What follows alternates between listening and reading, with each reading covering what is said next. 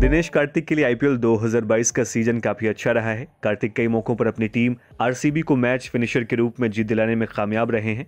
अब तक उनके बल्ले से 32, 14, 44, 7, चौंतीस और छाछठ रनों की पारियाँ निकली हैं और खास बात यह है कि इस दौरान कार्तिक का स्ट्राइक रेट दो का रहा है और वो छह मैचों में से पाँच पारियों में नॉट आउट भी रहे हैं। कुल मिलाकर दिनेश कार्तिक इस समय अच्छी फॉर्म में है और अब कार्तिक के इसी प्रदर्शन को देखकर इस साल के आखिर में होने वाले टी ट्वेंटी वर्ल्ड कप में उन्हें शामिल किए जाने की बात चल रही है। भारत के पूर्व क्रिकेटर सुनील गावस्कर ने दिनेश कार्तिक की तारीफ़ करते हुए कहा है कि दिनेश कार्तिक को साल ऑस्ट्रेलिया में होने वाले टी विश्व कप के लिए टीम इंडिया में शामिल किया जाना चाहिए। इस समय कार्तिक की उम्र पर ध्यान न देकर वो टीम के लिए क्या कर रहे हैं, इस बारे में सोचना चाहिए। गावस्कर ने यह भी कहा कि कार्तिक हर मैच में अपनी परफॉर्मेंस बदल रहे हैं। वो अपनी टीम के लिए अहम योगदान दे रहे हैं। छठे और सातवें नंबर के बल्लेबाज को जो योगदान देना चाहिए। कार्तिक वही कर रहे हैं।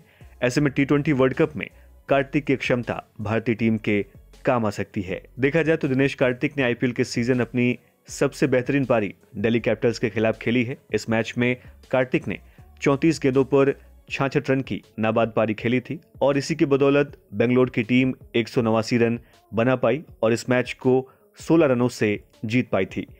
इन सब के अलावा कार्तिक के अंतर्राष्ट्रीय क्रिकेट के रिकॉर्ड को देखें तो दिनेश कार्तिक टीम इंडिया के लिए 26 टेस्ट मैच चौरानवे वनडे और 32 टी ट्वेंटी अंतर्राष्ट्रीय मैच खेल चुके हैं। और कार्तिक ने अपना आखिरी मैच विकेटकीपर और बल्लेबाज के रूप में साल 2019 में खेला था। आप किस मुद्दे पर क्या राय है? क्या कार्तिक को टी ट्वेंटी विश्व कप 2022 में भारतीय टीम का हिस्सा बनना चाहिए या नहीं? इसके बारे में हम इस वीडियो के कमेंट बॉक्स में ज़रूर लिखें। क्रिकेट की दुनिया जुड़ी और तमाम लेटेस्ट खबरों के लिए देखते रहिए हमारे चैनल को। जय हिंद।